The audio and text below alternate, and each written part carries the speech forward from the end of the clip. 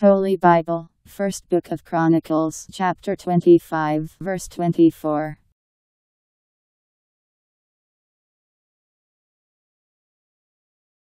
The seventeenth Joshbekashah, with his sons and his brothers, twelve.